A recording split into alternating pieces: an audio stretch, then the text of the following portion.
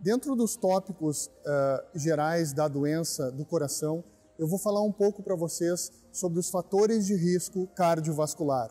Os fatores de risco cardiovascular, conceitualmente, são fatores que aumentam, estão aumentados as condições clínicas e a piora de desfechos cardiovasculares quando não há ou quando há mudanças de comportamento ao longo da vida. É importante salientarmos e classificarmos os, quais são os fatores de risco cardiovascular. Nós temos duas classificações básicas: os fatores modificáveis e os fatores de risco não modificáveis. Dentro dos fatores de risco não modificáveis, nós temos os fatores genéticos, a idade e a raça, como por exemplo, dentro dos fatores de risco modificáveis, nós temos o tabagismo, a hipertensão, o diabetes e o sedentarismo.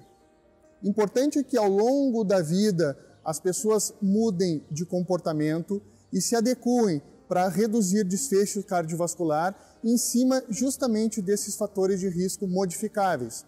As diretrizes, tanto nacionais quanto internacionais, recomendam a modificação desses fatores de risco cardiovasculares, principalmente de alguns aspectos relacionados à cessação do tabagismo, redução de peso, atividade física, controle da dieta e redução de colesterol.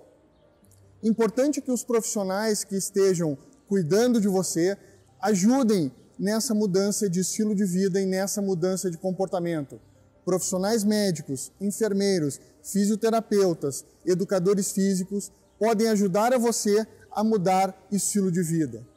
Por fim, um recado final: cuide do seu coração, cuide da sua saúde e tenha mais qualidade de vida.